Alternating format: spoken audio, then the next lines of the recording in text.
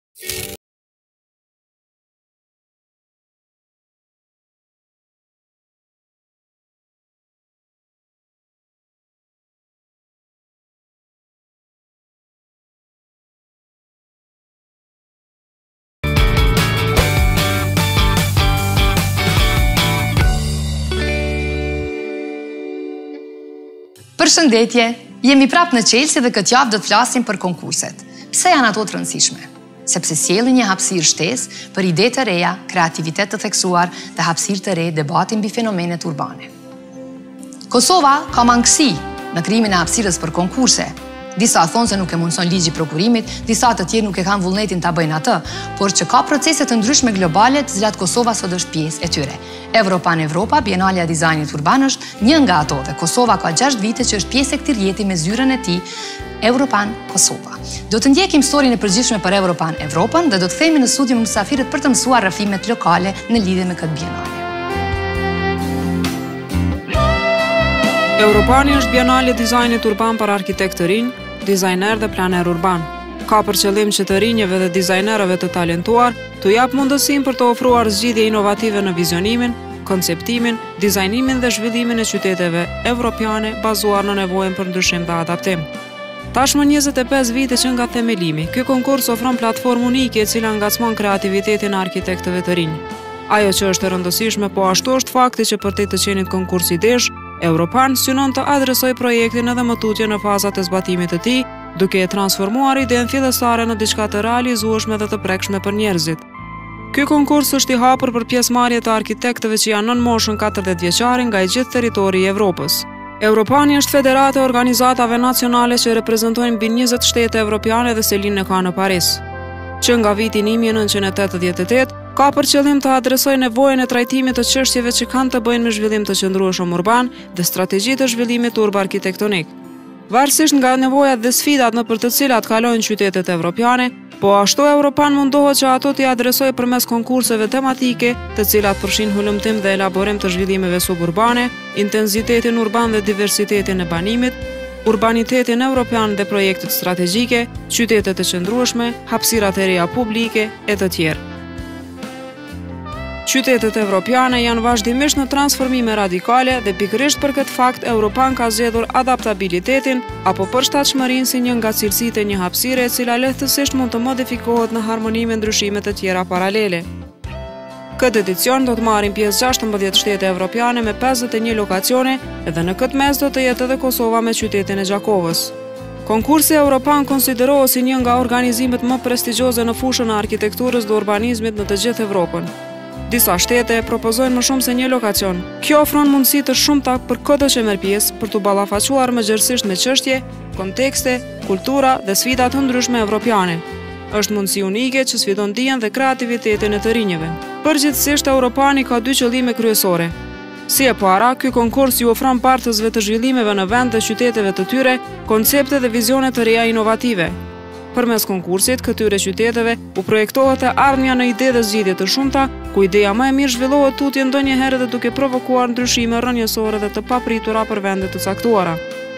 Çdo komunë pjesëmarrëse troket në mendjet e freskëta të arkitektëve të rinj evropianë, duke u dhënë atyre mundësinë që në moshë të re të jenë vizionarë dhe bartës të ndryshimeve në cilindo qytet evropian. Kjo e shndërron Europanin në një organizatë e cila funksionon edhe si laborator hulumtimi dhe si mjet për realizimin e ideve të reja. Pjesëmarrja në Europan, si për përfaqësuesit komunal, si për arkitektët pjesëmarrës, nënkupton inkuadrimin e tyre në rrjetin e njerëzve të përkushtuar për çështjet e zhvillimit të qyteteve, planifikimit urban dhe arkitekturës. Nëse jeni arkitektë të rinj dhe dëshironi ta keni mundësinë për të marrë pjesë në një projekt të rëndësishëm, atëherë inkurajoheni të merrni pjesë në konkursin Europan.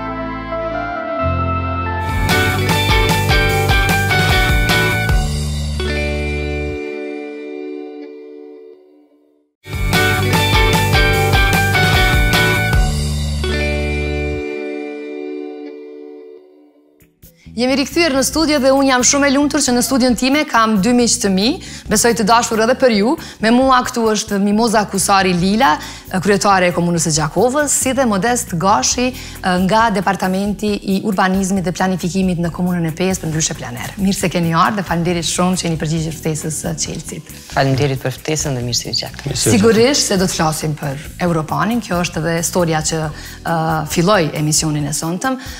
pse është kaq e rëndësishme për Kosovën një aktivitet si Europan Europe në këtë rast Europan Kosova si pjesë e rrjetit të Europan Evropës dhe çka mund të sjellë ajo tek ne si konkurs i cili ofrohet një gjenerate të re.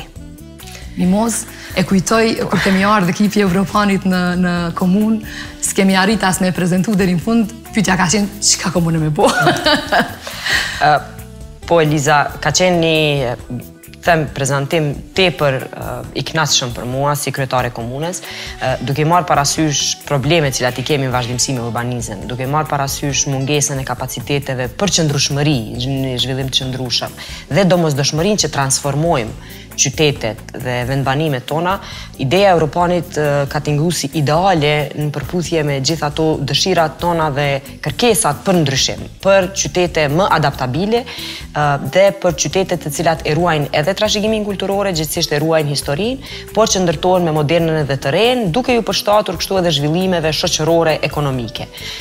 Kjo ishte ajo çfarë mua së pari, domethënë, më godet në kuptimin pozitiv, dhe së dyti fakti që si konkurs hapet përpara gjithë arkitektëve të vendeve të shteteve të Evropës, kryesisht më të ri se 40 vjet, e jep një element ende më të mirë për shkak se kemi mundësi të zgjedhim nga gjithë ato ide kreative, them, të kokave të të rinjve të cilët janë në këtë profesion jo i lehtë, por gjithashtu me një shans shumë të mirë për të depërtu.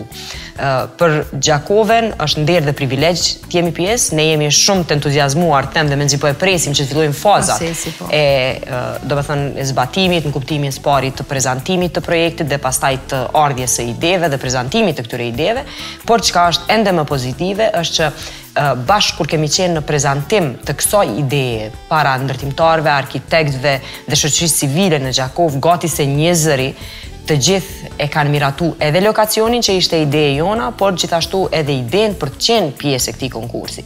Do të thotë, nëse çdo gjë vazhdon si duhet, ne po besoj se do të jemi përfitues të një projekti i cili me të vërtetë do të bëjë një transformim të asaj çfarë sot është zemra e qytetit të Gjakovës, pjesën rreth lumit Krena, ky është projekti i jonë. Po, e shoh lokacionin edhe këtu, domethënë është mu në zemër po. të qytetit, është pikërisht aty ku duhet të bashkëjetojnë dhe të komunikojnë që e thatë edhe ju e reja edhe e vjetra për një hapësirë më të qëndrueshme dhe më funksionale. Pa u cenuar asnjëra. Asnjëra, po po, natyrisht. Do të kthehem pak te Modesti, sepse Peja si komunë ka kalu një proces goxha të gjatë, është e para komunë që ka nis dhe ka besu në idenë e Europanit, dhe thjesht në atë kohë çështja kryesore si ombrellë e Europanit ishte identiteti. Besoj një sfidë shumë interesante dhe shumë në të njëjtën kohë kushtimisht problematike për një Kosovë e cila po kalon, domethënë në një periudhë komplet tjetër si shtet, si shoqëri, kulturalisht, ekonomikisht, në kuptim social, politik, historik e të tjera. Qytetet e përjetojnë shumë, domethënë këtë përplasjen e, e shtresimeve të ndryshme të identitetit.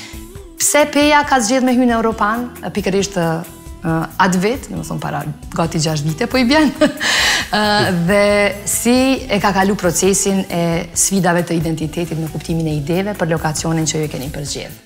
Atëherë, Peja ka pas, domethënë, detyrë pas miratimit të planit zhvillimor komunal dhe planit zhvillimor urban, ta hartojë një udhërrëfyes për zbatimin e këtyre planeve. Faktikisht, na kemi marrë si detyrë që procesi i vërtetë i planifikimit fillon pas miratimit të planeve. Me qenë se zona ish kazerma e qytetit Pejës që ka qenë, ne kemi kry një vizion me programin e UN Habitatit, domethënë, i kemi jep një orientim të zhvillimit për zonë edukative, sportive dhe turistike, ndryshe ka marrë emnin si zona EST. Mirëpo, me qenë se edhe na si drejtorat, apo si stafi i drejtoratit, në thojza mund të themi jemi mërzit nga proceset e standarde të rregullimit të hapësirës, domethënë me plane rregulluese urbane, kemi menduar që të, të kërkojmë disa novitete, risi në mhm. fushën e planifikimit, sepse dihet që edhe konkursi është një praktikë shumë e mirë sa i përket zbatimit të planeve. Ë jemi kanë shumë me fat që në ato momente na u ka ofru uh, Europan Kosova faktikisht, mm me një kërkesë që a jemi të interesum që të marrim pjesë në një konkurs. Kjo automatikisht është përshtat edhe me atë idenë tanë se po, jemi të gatshëm që të marrim pjesë me një lokacion të caktum. Cila ka qenë, domethënë, si kemi fillu me, me trajtu, me gjetë, domethënë, lokacioni. Dalim pak te, te lokacioni po, Pejës edhe vizualisht. Atëherë, politikat tona për zbatim janë kryesisht përqendrohen në hapësirën publike. Domethënë, po. ne kemi për qëllim se sa ma shumë komunitetit t'i afrojmë hapësirë të cilën ata mundën me shfrytëzu.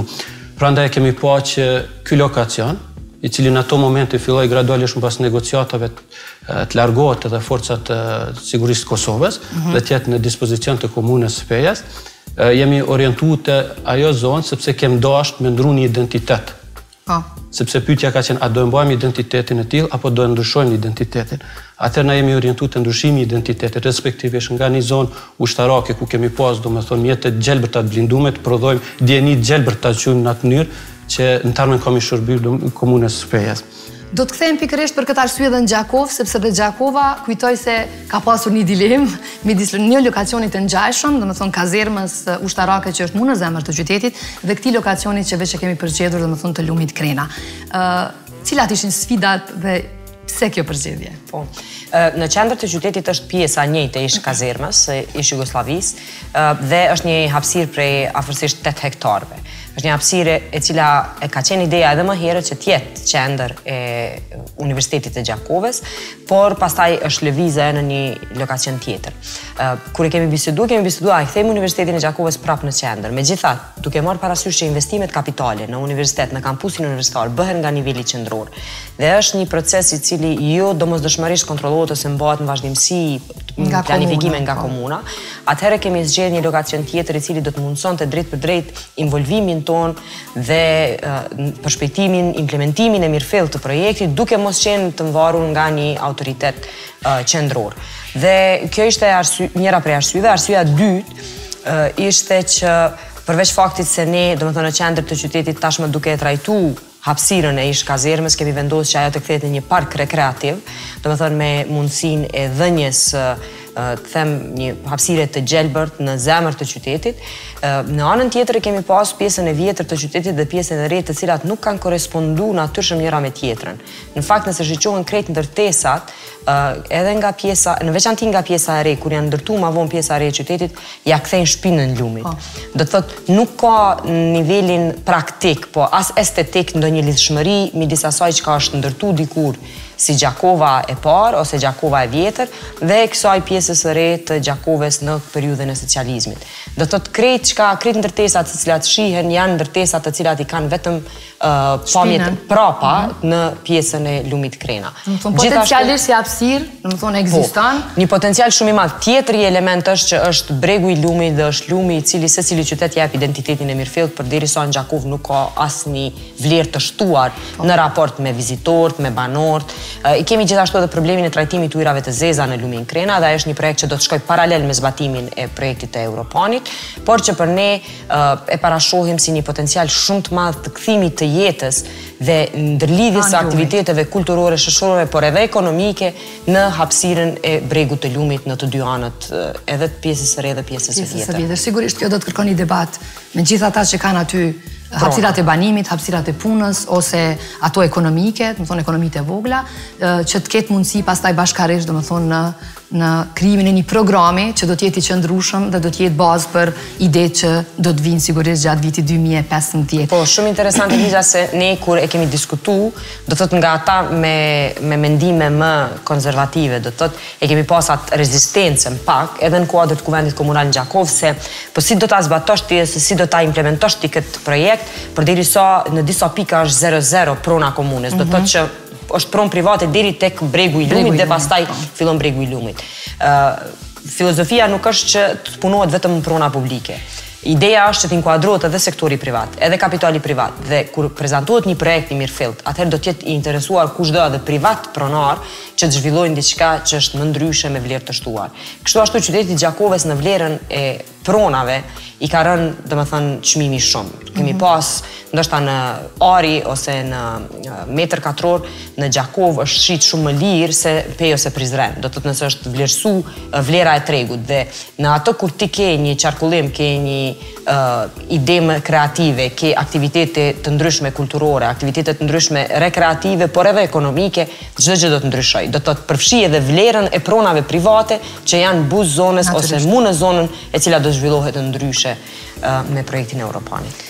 Peja, ndërkohë ka një bagazh tashmë dhe ka kalu në një proces goxha të gjatë, ka pas mjaft shumë të interesuar domethonë t'japin idetë e tyre, nëse kujtoj ka mbi 30, a? Po, mbi 30 ide, na fol pak modest që edhe kryetarja tashmë veç e kupton se çka ka me prit gjatë këtij procesi në vitin 2015, se si ka shku aspekti i momenteve kur juritë ndërkombëtare bëjnë, domethënë klasifikimin e parë, pastaj takohen në forumet për lokacionet në vende të ndryshme të piketume domethënë nga jashtë dhe kthehen sërish në Pejë që bashkarisht me njerëzit e komunës, domethënë të sigurojnë që ideja më e mirë dhe më e kënaqshme, domethënë të arrijë tek komuna dhe të jetë e mundshme për zbatim. Po, ky faktikisht këtu e kemi domethënë projektin fitues, është projekti Frates, një ekip nga Spanja, paraprakisht para se të vijmë deri te përfundimi apo dorëzimi i projektit fitues, siç është e quajtur edhe. Po, ka një proces të gjatë. Po, një proces. Siç e theksa më herët pasi që mund të them thonjëza na provokun me idenë e pjesëmarrjes në Europan Europe, ne si komunë jemi angazhu së bashku me stafin e sekretariatit të Europan Kosova që të hartojmë programin me me çka do marrim pjesë në këtë konkurs. Në mos gaboj në nëntor të vitit 2011 në Stamboll ne kemi prezantu lokacionin, ka qenë një lloj forumi mbi lokacionet, Aty kanë marrë pjesë disa qytete, grupi domethonë Peja ka rënë në një grup që ka pas si konkurrent nga Norvegjia, Suedia dhe Holanda. Aty kemi prezantu dhe nga, jo, nga ai moment u ka aprovu, domethonë, lokacioni i komunës së Pejës, që mundet me vazhdu ma tutje me konkursin Europan, Pastaj, zyrtarisht është bo hapja e konkursit, ku na kemi marrë, domethënë, kanë fillu gradualisht m'u regjistru, janë regjistru gjithsej 46 të interesum konkurrentë kanë qenë, nga ato kanë vazhdu vetëm 30, kanë bo dorëzimin e projekteve, edhe ajo çka ka qenë me rëndësi që ne kemi pas afatit kur i kemi prit ata. Kemi pas gjithsej 4 grupe, domethënë, nga Shqipnia dhe Gjermania dhe vende tjera, që kanë ardhë, në Pejë edhe kanë vizitu lokacionin edhe kanë bo pytje në lidhje me lokacionin. Pasi që i kemi marrë, domethënë, projektet, na kemi organizu takimin e parë me jurinë, këto janë disa anëtarë të jurisë. Domethënë, ta precizojmë për shikuesit që juria, domethënë, ka përbërje globale, domethënë, ka po, njerëz eminent po, të profesionit. Po. Të ndryshme besa, jo vetëm planer, po. edhe nga sfera e sociologjisë, ekonomisë, Pikërisht geografisë. Ashtu, kjo është edhe esenca, domethënë, pse Europani është aq, domethënë, i, i suksesshëm, sepse nuk janë vetëm të orientu në arkitekt, arkitekt apo planifikus, po është gjithëpërfshirës. para se me fillu takimi me jurinë, na kemi bo një ekspozitë për qytetarët, po edhe grupet po. me interes, që kanë marrë, po, kanë marrë pjesë, domethënë, kjo është mhm. pjesë e Po, domethënë, ekspozitës, ku kanë pytë, edhe shumë interesant ka qenë qytetarët e thjeshtë i tërheqte ma shumë ku kishte renderizime ma të mira. Vin te kufiri italian, po, vin te kufiri italian, vin te kufiri italian, i tërheqte emni, Sonata, Diana Zërin, që këto, po. mënyra lëvizjes, domethënë, i tërheke projekti.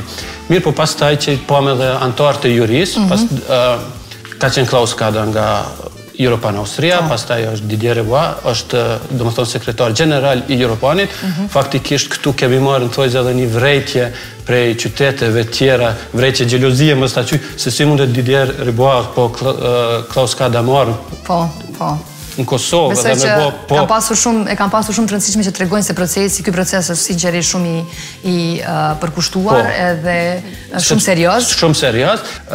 Këtu faktikisht ne si Drejtorat edhe stafi i drejtoratit kemi mësu një proces të ri të vlerësimit të projektit. Domethënë jemi fut në aspektin profesional se si ata i vlerësojnë, si futen në detale edhe nxjerrin konceptin ma të mirë që është i përshtatshëm me programin e komunës Pejë që e ka prezantu në këtë konkurs. Domethënë nuk ndalemi gjithmonë vetëm te ana vizuale, jo. sepse shpeshherë shohim projekte që ndonjëherë nuk na pëlqejnë në shikimin e parë, por është përmbajtja e tyre, sa kanë prek ato me pikat e programit, domethënë që komunës është e domosdoshme t'i plotësojë sepse kanë qenë kërkesat e një grupacioni të caktum që ka qenë në proces. Po. T'isha ndalë te Mimoza pak, pikërisht duke u ndalë te anëtari tjetër i jurisë, po që për neve është një person shumë i rëndësishëm, te Bernti nga Europan Austria, duke qenë se Europan Kosova në fakt operon tash sa vite nën ombrellën e Europan uh, Austrisë, sepse uh, kushtimisht duhet t'i kemi dy lokacione si shtet për të pas mundësi të operojmë të pavarur, domethënë në 100% brenda rrjetit të Europan Evropës.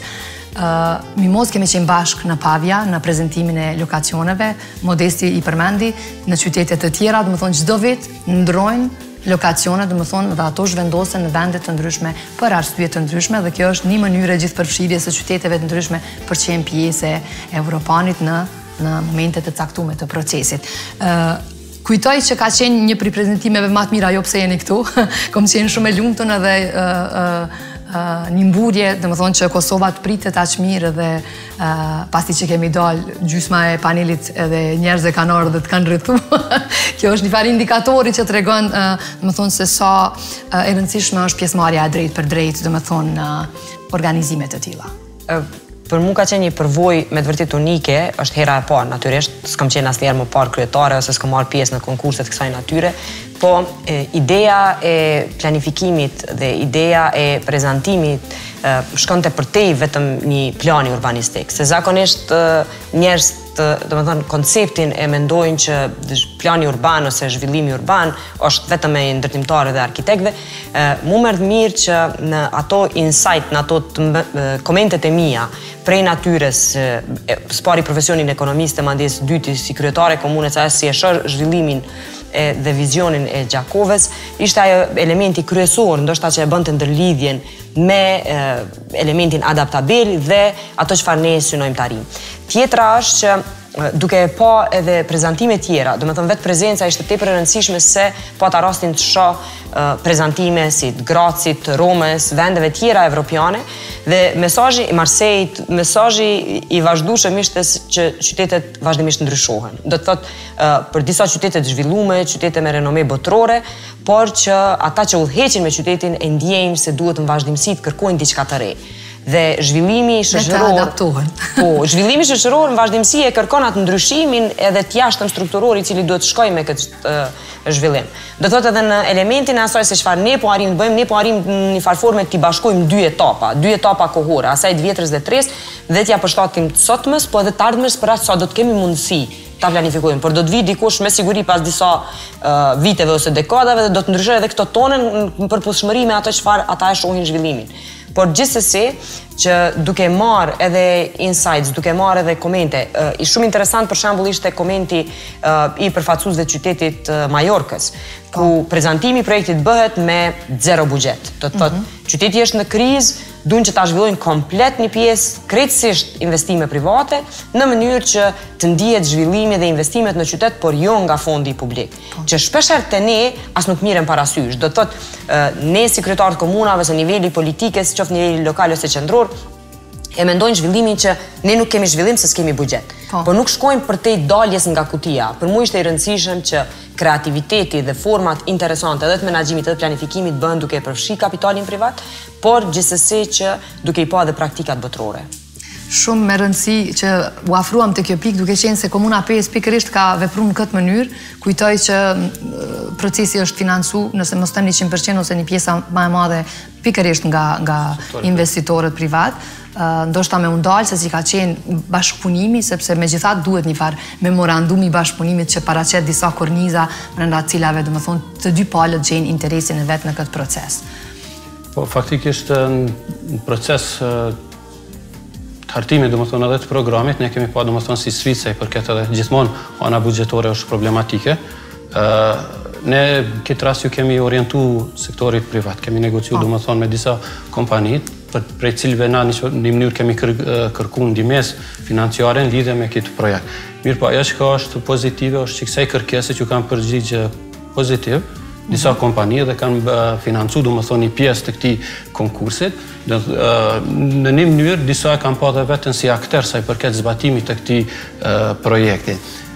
Mirëpo mbasi që kemi kry, domethënë, këto disa nga anëtarët, të them të përfaqësuesit sektorit privat, ne ju kemi jap hapsinë që të jenë edhe pjesë të jurisë, mirëpo jo me drejtë vote, po, po që të japin domethënë këtë të shohin procesin krejt, mm -hmm. domethënë prej fillimit deri në përfundim Kujtoj që është edhe një element i rëndësishëm, po.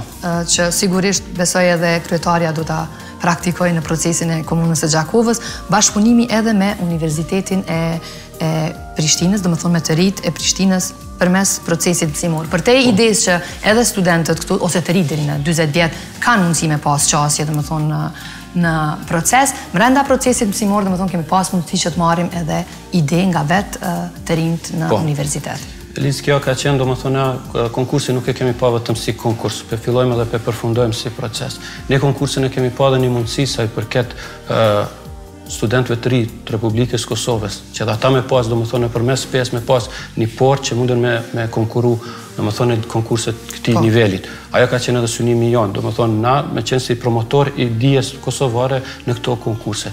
Po ashtu pastaj ka lindë edhe ideja mirë në rregull, ne pe, pe përfundojmë këtë konkurs, e dorëzojmë projektin, mirëpo të organizojmë edhe diçka tjetër në lidhje që ta, si me thënë, ta afrojmë ma shumë, domethënë, me, me, me profesionistë të Kosovës.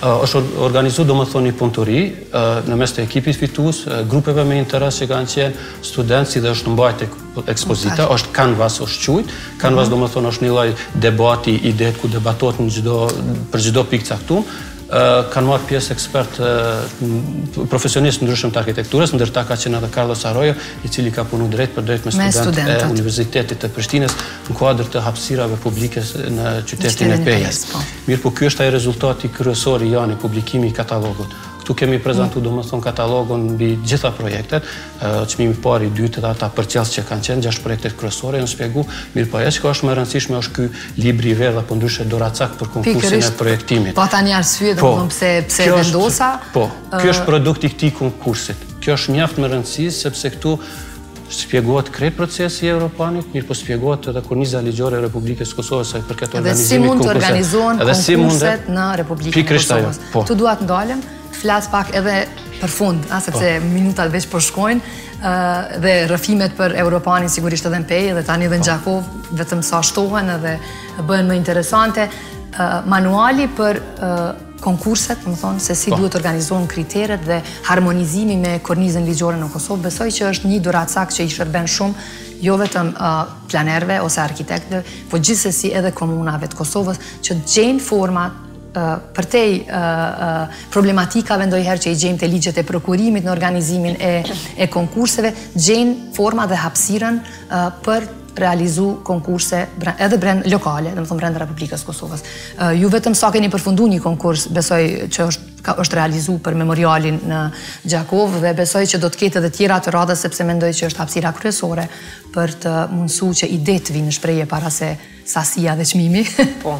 Është një është një e vërtetë se me ligjin e prokurimit publik duke dashur që të kursehet buxheti ose të shpenzohet në mënyrën sa më efektive, uh, jo rrallë uh, dëmtohen disa elemente shumë të rëndësishme të projekteve. Në veçanti këto projekte të kësaj natyre ku duhet uh, kreativiteti dhe uh, disa mesazhe dhe simbolika, siç është rasti i memorialit, të vinë në shprehje jo domosdoshmërisht sa është metër kub ku e di unë mermer po, ose po. diçka e ngjashme. Ëm në rastin e Europanit, po edhe në rastin e, domethënë memorialit, ne unë e shoh personalisht se ne po po arrijmë të nxjerrim më të mirën e mendjes njerëzore. Dhe ky është elementi i cili do të jetojë me qytetin, elementi i cili do të mbetet dhe në të njëjtën kohë që fillon të bëhet një praktikë që jo domosdoshmërisht Gjithmonë tenderët janë për qëllim dikujt ose janë vetëm sa për t'u kry një proces, por është ajo çfarë mbetet që duhet ta mbijetojë, domethënë edhe jo vetëm karrierën tonë politike, po ndoshta edhe jetëgjatësinë që që të jenë më afatgjate.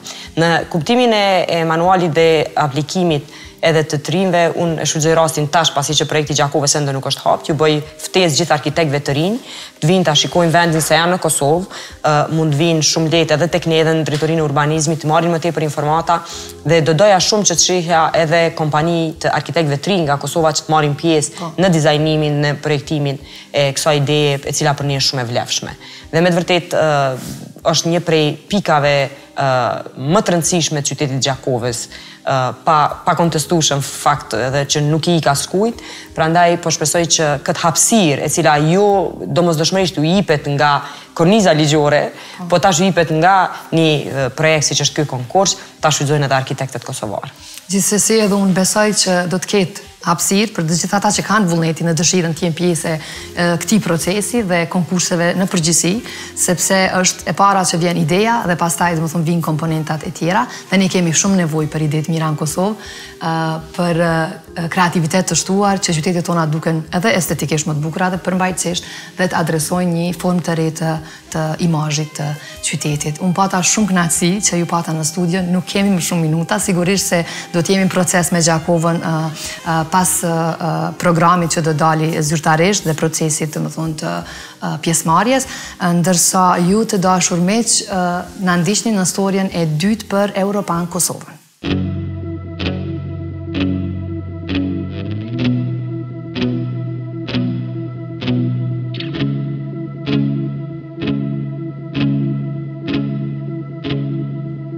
Europan është konkurs ndërkombëtar që zhvillohet në territorin e Europës prej 1988.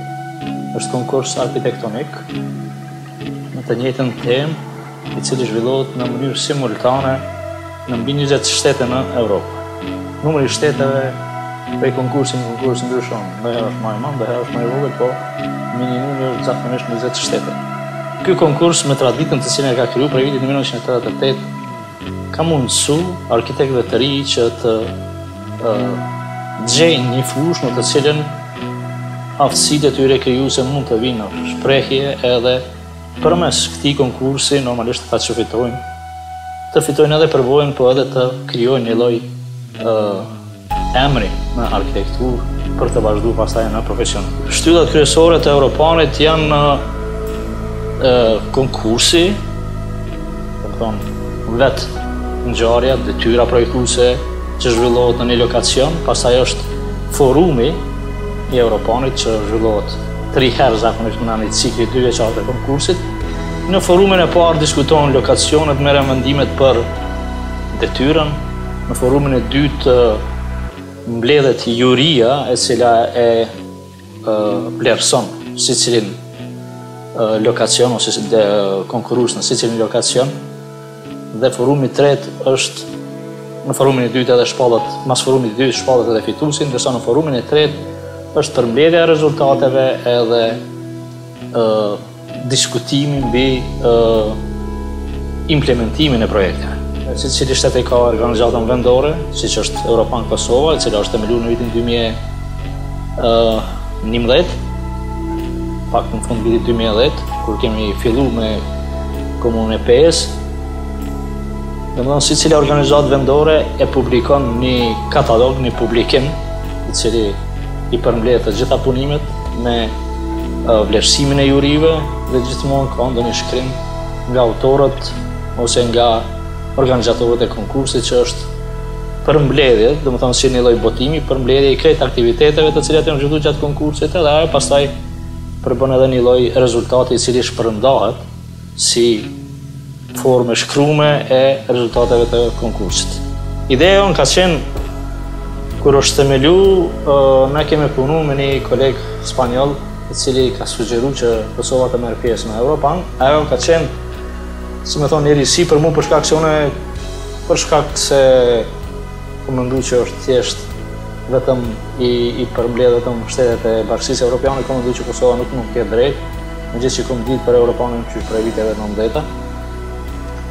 E pastaj me, me lidhjet e tij ka siguru që na të marrim pjesë, domethanë në vitin 2010 ne kemi fillu me Europan Pejën, dhe zyra funksionon si një uh, organizatë joqeveritare, që ka një bord Unë jam aktualisht president, por s'ka shumë dallim, ne punojmë kryesisht në mënyrë vullnetare, për shkak se sigurimi i financave është zakonisht shumë i vështirë, komunat nuk kanë edhe mundësi të të sigurojnë të gjitha mjetet për shpenzimet të cilat i merr ky konkurs, sidomos sa i përket shpërblimeve, punës së jurisë edhe forumeve të cilat duhet të marrim pjesë e po ashtu botimit.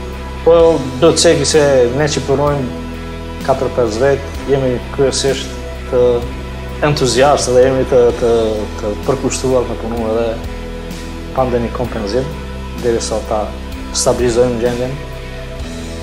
Çka është e rëndësishme për arkitektët e rinj kosovarë është se është mënyrë shumë e mirë për ta matë vetën, për ta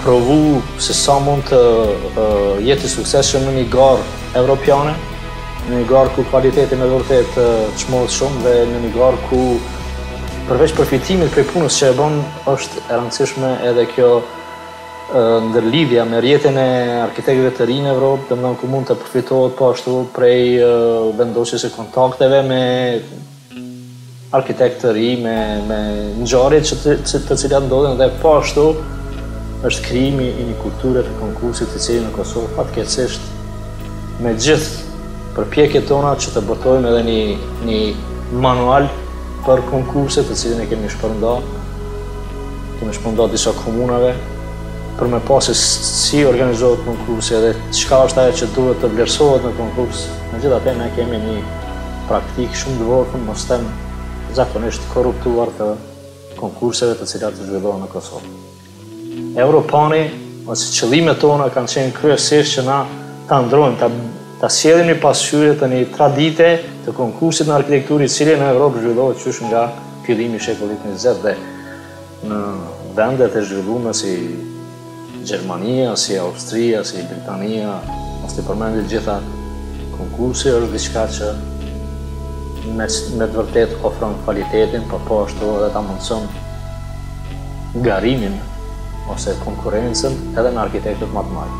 Në mund për neve, me rëndësi është që sa më shumë arkitektë të rinj të bashkangjiten në këtë konkurs. Pa marrë parasysh na sivjet e kemi Gjakovën, por nuk do të thotë që duhet të konkurrojnë në Gjakovë, janë mbi 50 lokacione ku ata mund të konkurrojnë në Evropë, bile mendoj që ma mirë do të ishte me konkurru edhe në ndonjë shtet tjetër, për shkak të mundësisë që të ndërlidhe me atë çka bëhet edhe në qytete tjera në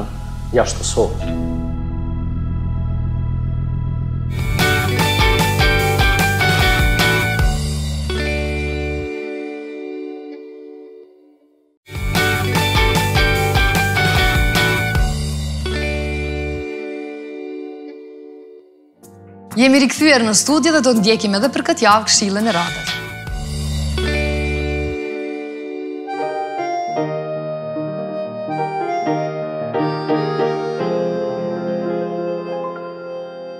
Përshëndetje teleshikues të televizionit 21.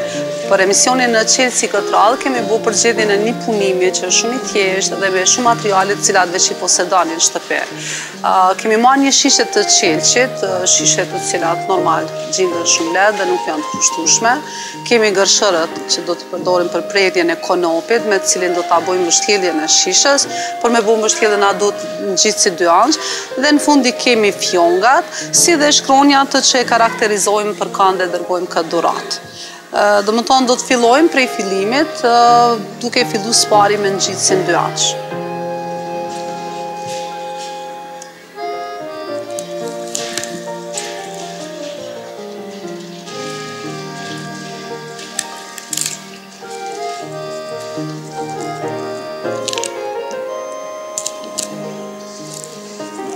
Zakonisht i përdorim shishet e qelqit për këto punime, shkaku se ato të plastikës që jonë janë shumë të lehta dhe derisa punon me to edhe mundet me i humb formën, po edhe nuk qëndran pastaj nëse nuk është e mbushun, nuk është e randume.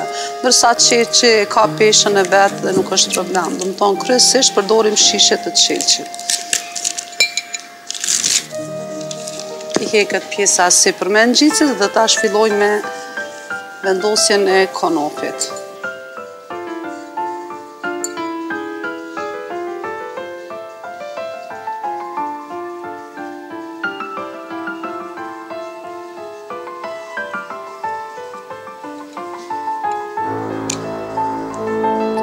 Mështjellja me konop përfundoi, po e bonëm deri në këtë pjesë, ndërsa tash do të fillojmë me dekorin, me fjonga dhe me shkronja. Tash duke marrë parasysh se kem përdor konopin, material që është që përdoret kryesisht për këto dekoret klasike. Normal që kemi bo, nuk kemi shku me fjonga të mëndafshta të satenit, se nuk janë fjonga që mund përshtaten me këto, po domethonë kemi shku me fjonga që është e lëkurës, është lëkurë, dhe është një fjongë tjetër e pambukut që bëhet kombinimi i dy ngjyrave të kuqes dhe të bardhës. Tash lidhjen e saj, pavarësisht se ku doni me i vendos shkronjat, mund të bëhet në pjesën e poshtme, në pjesën e sipërme. Mirëpo gjithherë duhet me pas parasysh që me lonë hapsirën, domethonë ku do t'jenë shkronjat e vendosun, dhe ku do të bojmë dekorin. Unë po i vendosi së pari shkronjat, ne këto i kemi të gatshme, kanë edhe ngjitësin e vet, po nganjëherë kur nuk i ke të gatshme mund T'i realizosh me letër, t'i bosh shkronjat, t'i presh, t'i ngjit, me i ngjit me ngjitës dy anë, sikur që e përdorëm ngjitësin që mështjellëm shishen.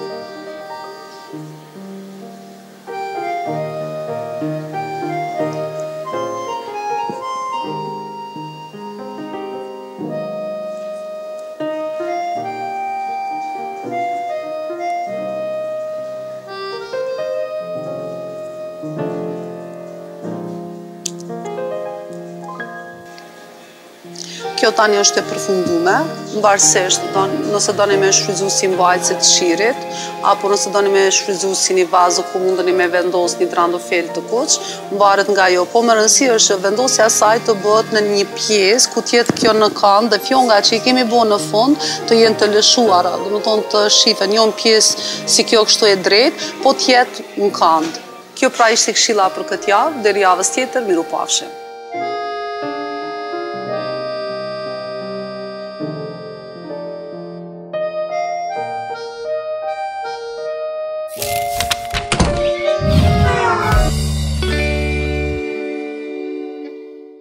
Besoj se edhe këshilla e kësaj jave ju ka kryer punë për ndonjë gjë, ndërsa ne kemi përfunduar për sonte. Ju mos harroni të na ndiqni si gjithmonë në Facebook Çelësi TV Show ose në programin zyrtar në YouTube rtv 21 Official. Mirë mbetshim.